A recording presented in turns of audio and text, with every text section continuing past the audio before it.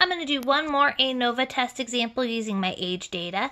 As you can see, um, my canvas is blank. I've got my all means are the same, at least one mean is different, my f-stat, my p-value blank that I'm ready to fill in, and then my conclusion. Okay, so I have my age data, and I went through the steps of stat, ANOVA, one way, and highlighted the three age groups. So you can see that the means are all pretty much similar.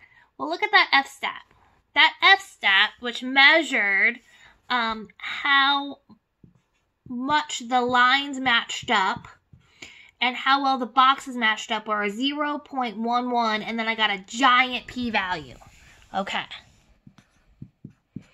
So what it's basically saying is that I have a small f-stat because everything lined up. If I have it all line up, that means that nothing weird is going on.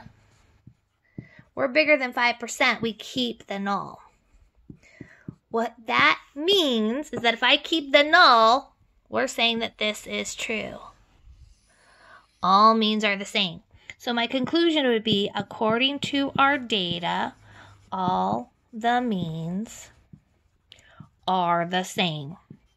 Now, if you don't like to say it that way, you could also say all the means are close enough to be considered statistically the same, but that is good enough. So that is our second fast example. In fact, that was so fast, maybe I should show you one more time the StatCrunch that you would do. So stat ANOVA, one way, highlight the three ages and hit compute. All right, I hope you have success with ANOVA.